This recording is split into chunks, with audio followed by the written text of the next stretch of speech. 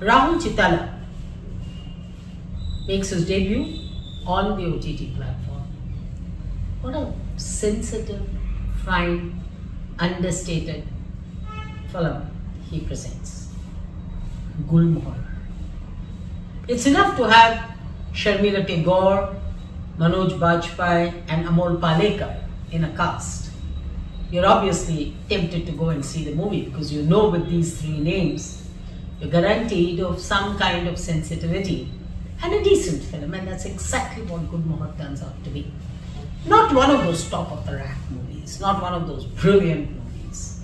But what works is, it's not one of those uh, underbelly, bad days, crime, etc. You know, you don't have that bitter taste which is so much, which has so much become an integral part of our OTT platform narratives.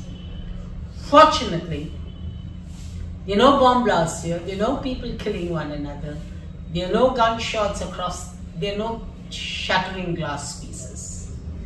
On the other hand, is this very, very, very elegant matriarch. Kusum, played by Sharmila Tagore, who lives in the Batra household as the elder lady. Her son Arun Batra, played by Manoj Bajpayee, his wife Indra Batra, played by Simran from the south. Then you have Arun's son Aditya Batra, played by Suraj Sharma, his wife Divya, played by Kaveri Seth, and his sister Amrita, played by Utsavi. They constitute the Batra household. Their uncle, of course, is Amol Palekar, another of the Batra family. The lovely house, the family house, is up for sale. And uh, while they all have to move out to the hotel as the packers and movers are coming in, Kusum decides that the last Holi will be in the house and they will stay there for the last three days and celebrate Holi. In short, Gulmohar looks at the last three days, looks back and forward, back and forward, looks at the past, what happened with their lives, how subtly they are where they are, and about relationships. These relationships too are not very crude. They are very subtly laid out and they pan out very interestingly. For instance, Indra and uh, Arun, the lead pair, if I can say that, uh, Manoj Bajpayee and Sim, have a lovely screen chemistry without having to do anything hard. They don't even smooch perhaps if I can remember, but there is something so nice about their communication with one another. Simran, the actor from South, who's done, who's been over the top when she does cinema in the South, is controlled. And what happens is that there are a few intrigues in the family, a few grey areas. And then you have Amol Palekar as the chacha in the family, who's the villain in the as you make it out to be. And this is no villain who's going to have a rapist image or a killer image or a drug peddler. They're a normal, upper middle class man who has his own schemes, his own dreams. He's so real. He's so natural. And yet has to play a negative role, and that's what Amol delivers great.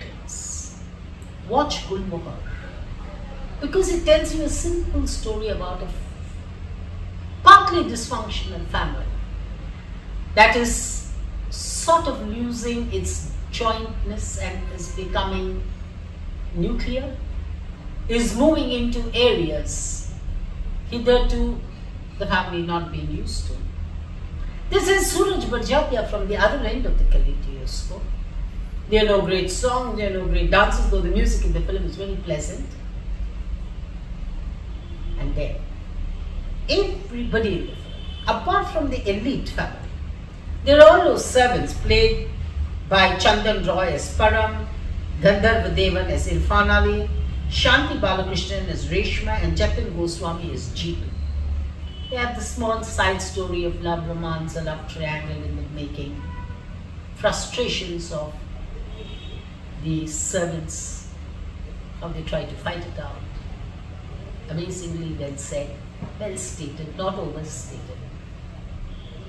And then Lal Tagore announces that after Holi, she's going away to Goa.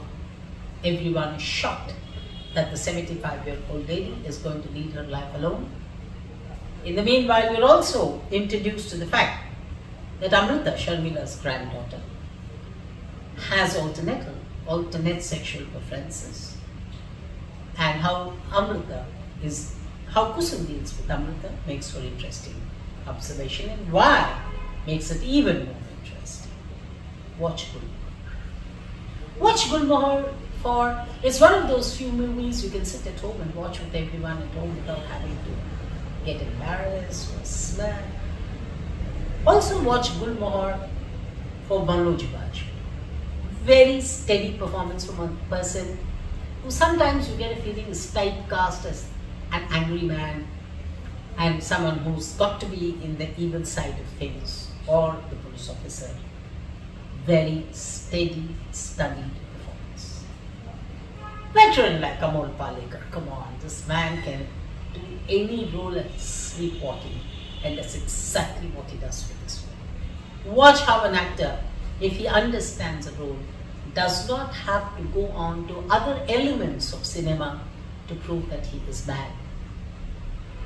Watch the movie for Amol Palekar and understand how well he interprets a character which is part villain, part really human. Obviously, at some stage, the entire film belongs ungrudgingly to Sharmila Tagore. What grace. Amazing that an actress at 75, she counted towards 80, is so, so, so graceful, so controlled. Her emotions are top class. Her style, words fail me. I've always been a Lal Tagore fan, but Gulmohar is a reiteration of her class. I would take my hats off for Rahul Chitla, Chittella for coming back to a certain kind of old times and saying a story in a contemporary context. And his cast is picture perfect. Go for it. Watch Gulmohar. As I sign off, acknowledgements to Abhinav, Ritika and Bye-bye.